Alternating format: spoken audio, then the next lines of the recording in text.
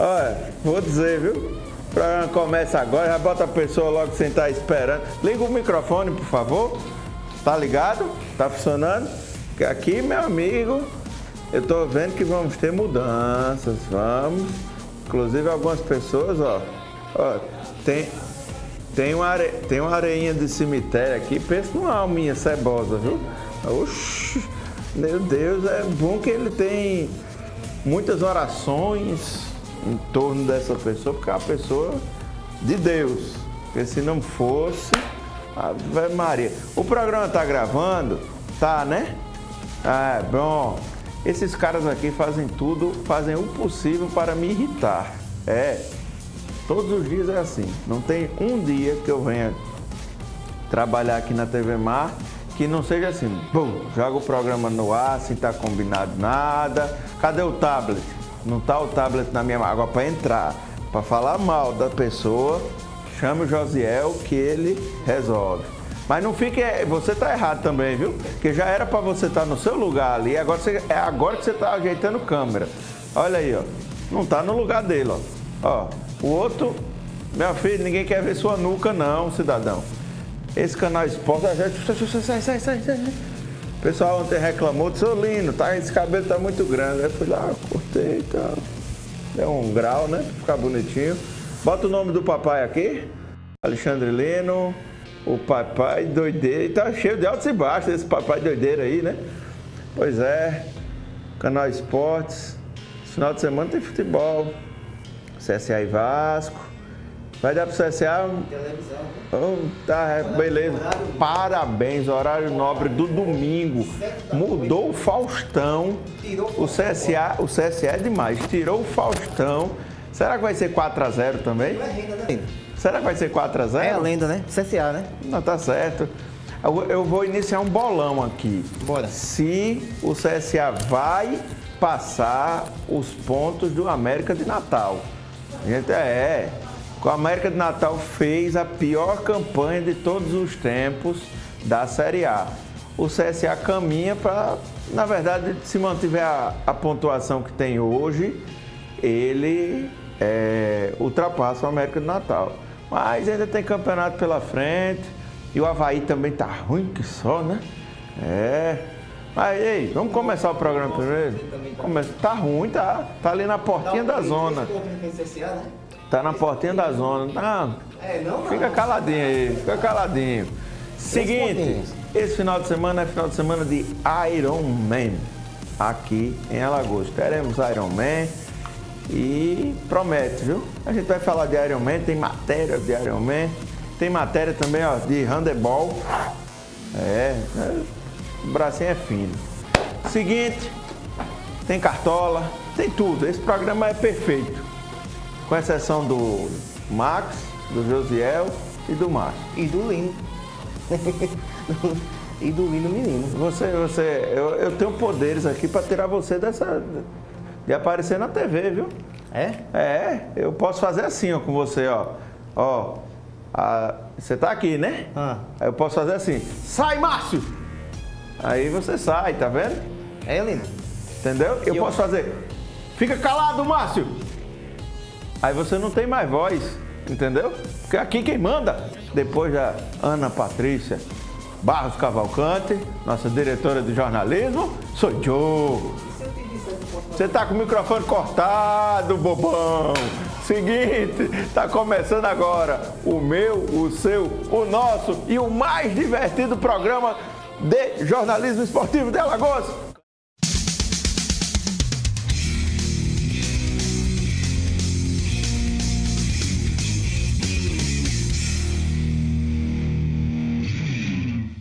Meu amigo, eu vou aí resolver. Eu vou chamar a matéria agora. Vou chamar a matéria do handebol. Vamos, vamos começar falando de handebol? Vamos. Vamos começar falando de handebol. E vou ali resolver essa cortada na minha cara que o Max fez de maldade, viu? De maldade, porque esses caras aqui ficam errando durante o programa só para mim. A equipe de handebol do Colégio Marista de Maceió irá representar o estado nos Jogos Escolares da Juventude, na categoria infantil. Eles são os grandes campeões da fase que reuniu as equipes da capital nos Jogos Estudantis de Alagoas. Foram quatro disputas em quatro intensos dias contra equipes de Maceió, Murici, São Miguel e Arapiraca. Agora, a equipe se prepara para a etapa regional, que acontece em Rio Grande do Norte, entre os dias 20 e 24 de setembro. A conquista tem um significado especial para o professor Eduardo Profa, que fala com orgulho da sua equipe. A gente conseguiu por duas vezes, três vezes bater na trave, né, ficarmos em segundo lugar e dessa vez conseguimos. E para mim, sem sombra de nuvem, é maravilhoso. Inclusive, um dos meninos atletas que estão nessa etapa é meu filho. É, é, é para mim, é, essa é a coisa mais principal nisso tudo, porque eu nunca, como atleta, consegui vencer o Geal. Né? Já venci várias vezes como técnico, mas nunca como atleta. E essa sensação eu não tive e consegui levar para casa através do meu filho, Gabriel. O goleiro Rodrigo, mais conhecido como Tocha, destaca o apoio que vem tendo da família. Meu pai sempre veio acompanhar meus jogos, minha família, minha mãe e minha irmã principalmente. Os treinos seguem intensos todas as terças e quintas-feiras, na quadra do Colégio Marista, que é referência em revelar novos atletas e apoiar o esporte. O esporte está no DNA da proposta educativa marista. Nós não concebemos nenhuma escola marista, desde o seu nascimento, nenhuma escola marista que não tenha todo um espaço para o esporte, dedicado ao esporte, com profissionais bem preparados. Então, isso aí é um resultado de, de um trabalho que vem a longo prazo com esses meninos, desde pequenos, no seu treinamento, na sua dedicação a esse esporte. Então, tem toda a formação da equipe, do conjunto, para que a gente chegue a este resultado que a gente está tendo. Pois é, tá de parabéns aí. Ligou o áudio dessa vez? Me cortaram, né? Me cortaram. Eu vou falando, você vai mostrando as imagens. Eu vou ensinar você a fazer jornalismo, porque você não sabe, Max. Você e o Josiel são pessoas não corta a câmera assim não, rapaz. Vocês são pessoas destrutivas ao jornalismo alagoano. Isso é uma verdade, a gente não pode esquecer. Bem verdade que vocês são auxiliados por outra pessoa bastante destrutiva, que é esse essa coisa que está aqui operando a câmera agora. Beleza? Mas vamos, vamos mostrando as imagens do handball do Marista, que está de parabéns, que eu vou falar aqui. É. Não, beleza, já brincou demais, volta para cá. Mostra as imagens aí. Pessoal. Depois passa no RH da empresa, aí fica chorando. Mostra as imagens, bota para o pessoal ver. Isso. Entendeu? Vocês são difíceis. A gente está tendo competição de handebol aqui em Alagoas. É. Não, solta sem o áudio, rapaz. Vamos ajudar, né? Tá tendo a Copa Nordeste de seleções. Handebol. Não, sem o Tiaguinho, pô.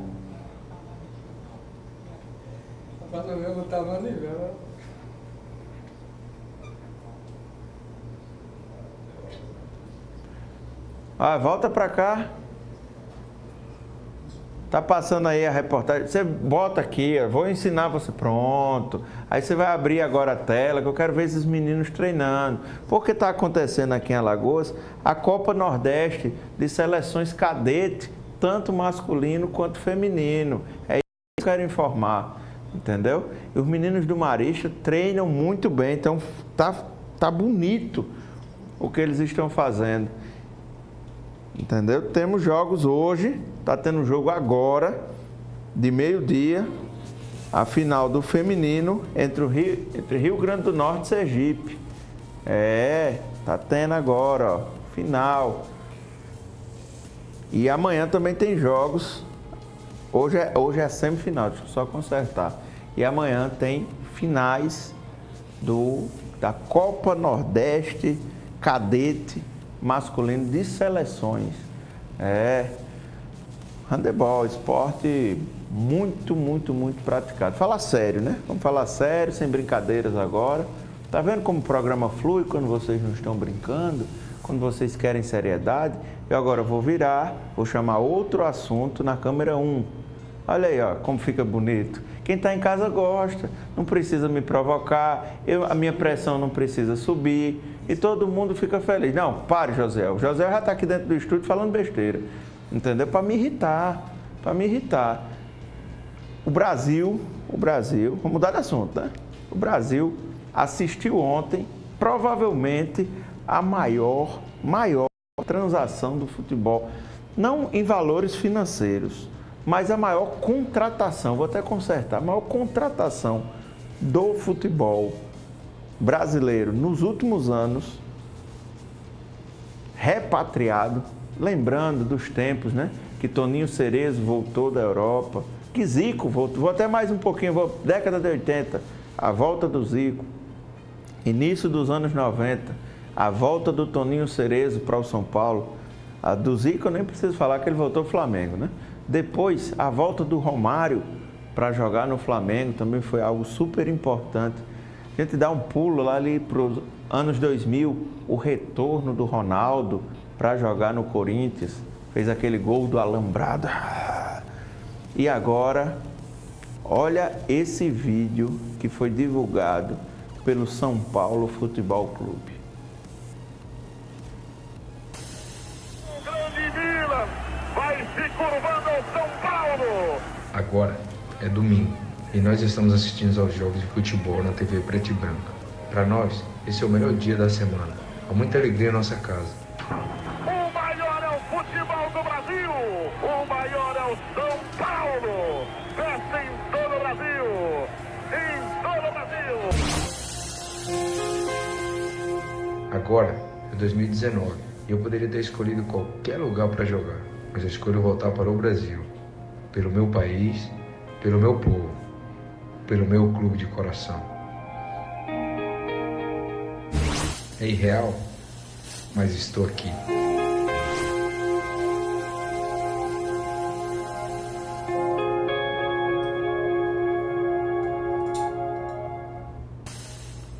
Rapaz, que sacada do São Paulo. Tava ali, né? O Flamengo trouxe o Felipe Luiz na semana passada, mas não soube fazer o lance de marketing da mesma forma que o São Paulo fez. E aí São Paulo acertou, mandou muito bem, repatriou Daniel Alves. Só rapidinho, vou lembrar do Daniel Alves no Barcelona, na Juventus e no Paris Saint-Germain. E vou lembrar também que o Daniel Alves, com o título do Brasil agora na Copa América, ele já era, só reforçou ainda mais o currículo dele. Daniel Alves é nada mais, nada menos que o jogador mais vitorioso de todos os tempos no futebol, o que reúne maior número de títulos. Pega aí rapidinho, Max, só para a gente ler rapidinho o currículo do Daniel Alves, a quantidade de títulos do Daniel Alves. Tem Champions League, tem campeonato espanhol, tem campeonato italiano, tem campeonato francês. É um, a lista, Copa América, Copa das Confederações. E se não tivesse contundido na véspera. Não, tá, volta aqui, volta aqui. Olha como pareceu, rapaz. Daniel Alves depois da gripe. Daquelas gripes fortes, né? Gripe com pneumonia e. Fale. Lindo, uma ressalva aí. Geralmente os atletas que retornam do exterior é fim de carreira, né? Se bem que o Daniel Alves está no auge da Rapaz, carreira. tu tá Pera aí, chamando pera o cara aí, de fim de aí. Carreira. Não, não, peraí, peraí. Qual a idade dele hoje? Márcio. Não, peraí. Não faz eu isso falei, não, Não, peraí, falei aqui o seguinte. Bota, aqui, bota o currículo dele, bota é- o currículo. não é- não Desaparece é com o Márcio aqui que já tá falando. Olha o currículo. O cara é de 83, tem 36 anos. 36 anos. Começou no Bahia, né? Vamos subir aqui. Ah, Vai ser o camisa 10 do São Paulo. Começou no Bahia, foi para o Sevilha, esqueci de falar os títulos importantes do Sevilha, depois uma carreira incrível, sensacional no Barcelona, depois foi para Juventus, chegou longe com a Juventus, chegou longe. Depois Paris Saint-Germain, ali naquele plano do PSG de ser o maior da Europa, infelizmente não deu certo, e agora no São Paulo. Vamos aqui, vamos a, a lista de títulos, lá embaixo, lá embaixo.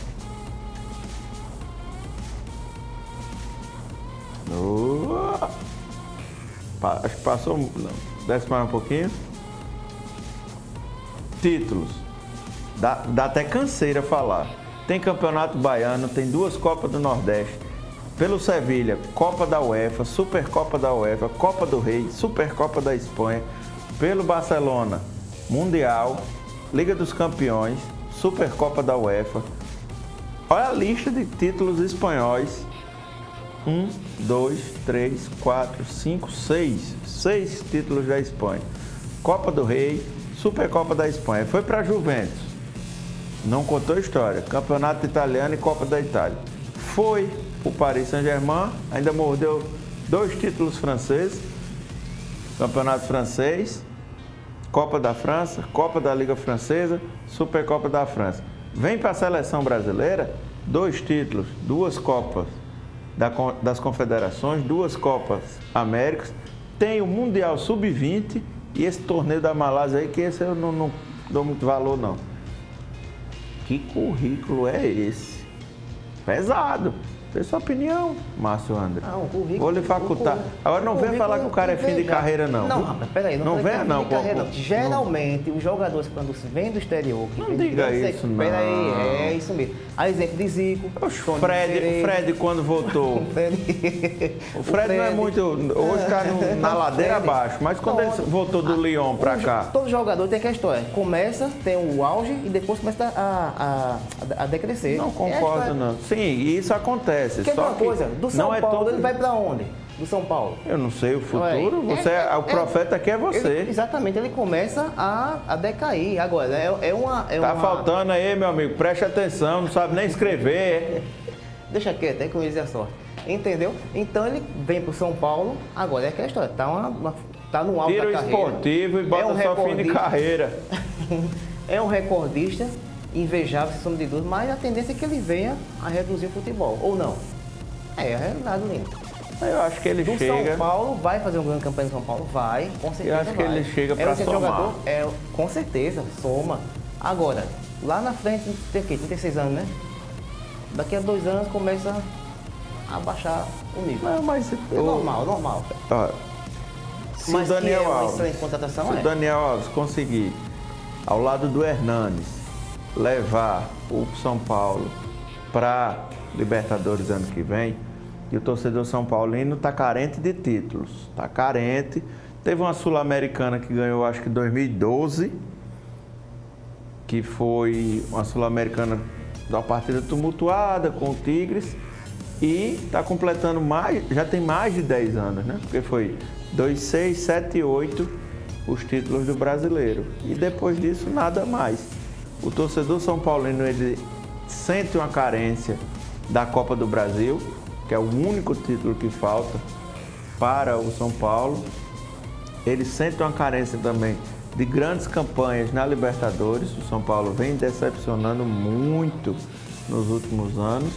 E o torcedor São Paulino sente a falta de um craque, de um símbolo. O torcedor São Paulino sempre teve isso muito presente.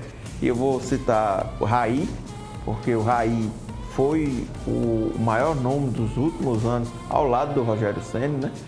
A gente o Raí, década de 90, Rogério Ceni, anos 2000. E hoje o, o torcedor São Paulino sente essa carência. O Hernanes, nessas idas e vindas, idas e vindas, não conseguiu fixar um- uma quantidade de títulos que o torcedor São Paulino queria que o Hernanes, Hernanes tivesse. E aí cenário é esse. Beleza? Já que esse é um blocão falando de esportes, vamos falar de skate. Queria chamar a atenção. Tem um vídeo, um, um vídeo aí separado, viu, Max? Olha como, olha como o programa flui bem quando vocês querem. uma paz, eu vou tá trocar. Não, eu vou trocar, não preciso me irritar, não preciso falar alto. Entendeu? A gente teve aí título internacional da Fadinha esse no final de semana que passou. Fadinha brilhando no, internacionalmente. Mas Alagoas não está muito distante, não. Nós temos a campeã nordeste de skate, é a Carolzinha. Carolzinha, skatista, mandando muito bem.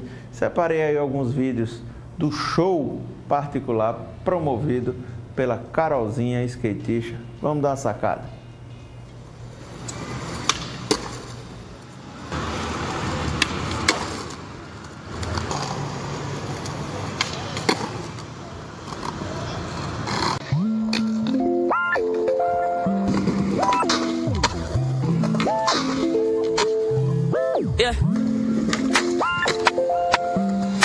Baby. Spotlight, moonlight. Nigga, why you tripping? Get your Mariah. Show look good in the moonlight. All these pussy niggas so bad, mine.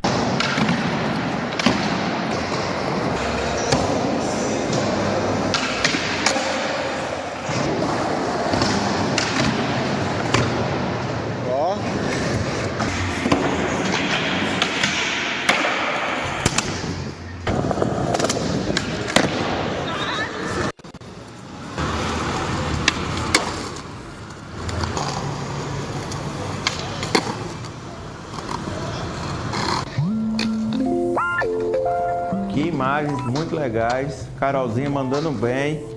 Recentemente conquistou o título Nordeste de skate. É jovem. A Fadinha também é jovem. As duas têm o mesmo biotipo ali. Já andou de skate, Márcio André? Andei, ando, vou continuar andando.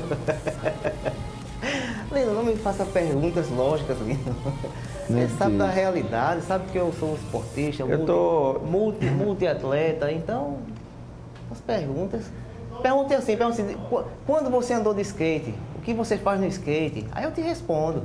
Mas se eu ando de skate, é uma lógica. Não só de skate, surf, motocross, é, Fórmula 1, Fórmula 1, no videogame, né? Mas não deixa de praticar, né? E você, Lito? Volta pra cá. Solta as imagens da Carolzinha aí. Entrei em contato essa semana com o meu amigo Bob. Bob é um dos principais skatistas daqui de Alagoas. A gente está afinando aí. Vou trazer a galera do skate para mostrar esse show particular que eles promovem aqui em Alagoas. Eu dou muita vazão, atenção especial para essa galera do skate. A gente agora vai para um rápido intervalo que eu vou organizar. Olha como o programa fica bonitinho, todo elegante com essa galera fazendo tudo organizadinho. Aí no próximo bloco a gente vai vir com um cartola, com a tabela do Brasileirão da Série A e B. É, vai ter esse programa tem futuro, rapaz. Esse programa tem audiência, ok? Vamos para um rápido intervalo. Vou virar na câmera 1 agora para chamar na câmera 1, tá certo? Olha aí, olha. Ninguém se estressa. Tá vendo? Márcio André. Márcio André. Pela ordem. Passa pro Márcio André, coloca ele aqui agora. Pronto, ele chama o intervalo. Foi o que ele falou?